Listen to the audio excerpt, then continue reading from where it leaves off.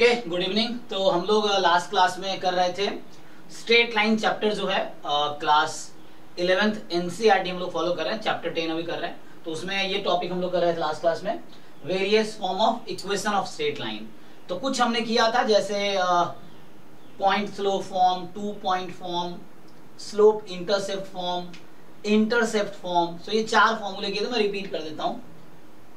फिर आगे कंटिन्यू करेंगे। तो हमने जो लास्ट क्लास में किया था सो so, आप लास्ट क्लास के वीडियो देखेंगे तो उसमें आपको मिलेगा जो पहला है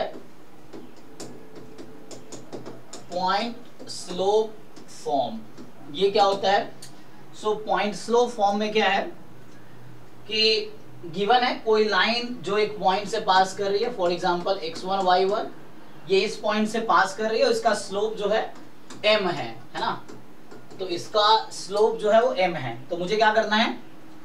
इस लाइन की इक्वेशन बतानी है। So we have to tell the equation of this line तो लाइन की इक्वेशन होगी y minus y one is equal to m x minus x one इसका हमने प्रूफ भी कराए थे पिछले क्लास में। पुराना लेक्चर देखिए। पिछले जस्ट पिछले क्लास का तो उसमें आपको मिल जाएगा। दूसरा हमने देखा था two point form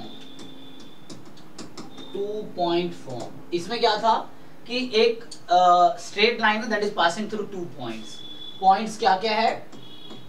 X1 comma y1 and x2 comma y2 सो ये दो पॉइंट है और इन दोनों पॉइंट से वो लाइन पास कर रही है। तो इक्वेशन ऑफ़ लाइन क्या होगी? तो जो इक्वेशन ऑफ़ लाइन होगी, y minus y one is equal to y two minus y one upon x two minus x one x minus x one so ये जो हमारा है, ये इक्वेशन ऑफ़ लाइन है टू पॉइंट फॉर्म में। तीसरा जो है हमारे पास वो था intercept form so intercept form में क्या है? कि आपको किसी लाइन का x intercept and y intercept दे रखा है. सपोज़ ए जो है वो एक्स इंटरसेप्ट है एंड uh, जो बी है वो वाई इंटरसेप्ट है ठीक है? सो एक्स ए इंटरसेप्ट है और जो बी है वो वाई इंटरसेप्ट है ठीक है? बी जो है वो वाई इंटरसेप्ट है. सो so, uh, इस केस में इक्वेशन ऑफ़ लाइन क्या होगी है ना? क्वेश्चन है इक्वेशन ऑफ़ लाइन क्या होगी? इक्वेशन ऑफ़ लाइन जो होगी वो आपका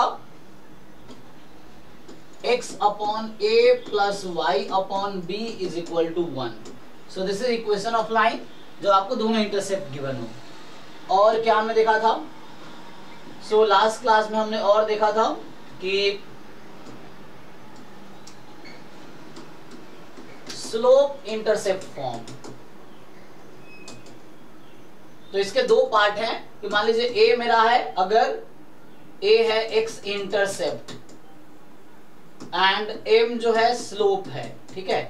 So x a is x intercept and m is slope तो इक्वेशन ऑफ़ लाइन क्या होगी? Y is equal to m into x minus a और दूसरा पार्ट ये है कि मान लीजिए c ले लेता हूँ मैं y intercept and m is slope ठीक?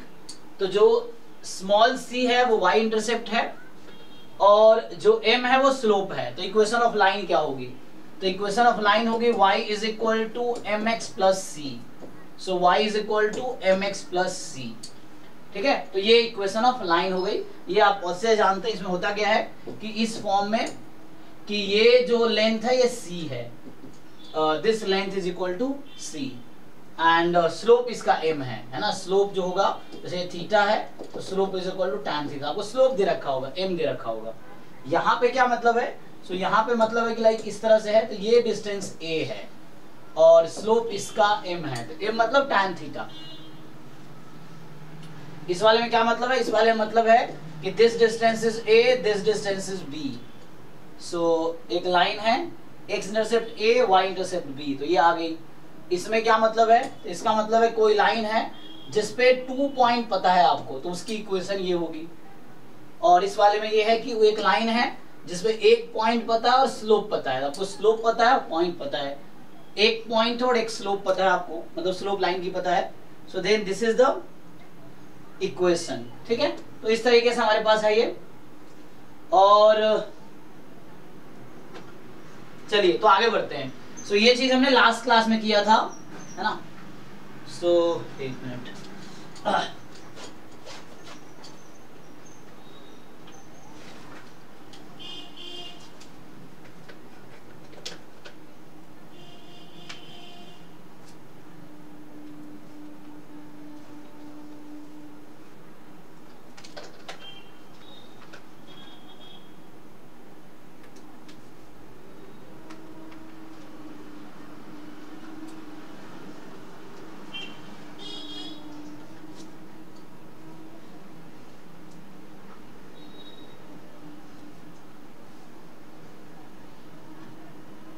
सो so, देखते हैं इसमें पहले क्या है फिर आगे बढ़ते हैं। सो so, एक है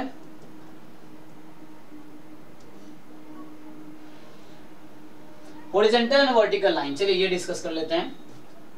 सो so, जैसे आप देखेंगे horizontal and vertical line so horizontal line so मान लीजिए ये एक्स एक्सिस है and this is y axis so ये वाला आपका एक्स एक्सिस है और वो वाई एक्सिस है। So this is x axis this is y axis अब क्या करते हैं कि एक्चुअली एक हॉरिजॉन्टल लाइन आपने ड्रॉ कर लिया तो इसकी इक्वेशन क्या होगी?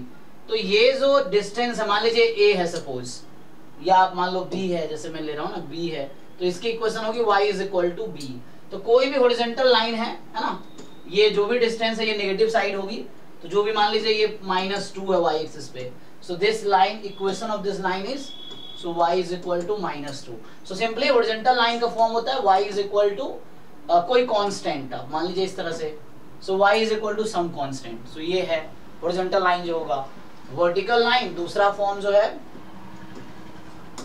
वर्टिकल लाइन सो जो वर्टिकल लाइन होगी एक्चुअली वो इस तरीके से है कि आपके पास ये एक्स एक्सिस और ये वाई एक्सिस यहाँ कोई पॉइंट है मान लीजिए कोई ए जैसे मैं बोल दिया।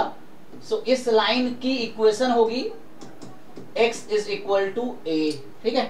तो इस लाइन की इक्वेशन है x is equal to a so कोई भी वर्टिकल लाइन है तो x is equal to some constant so equation of a vertical line is x is equal to some constant equation of horizontal line is y is equal to some constant और अभी चली गई है electricity तो wait करते हैं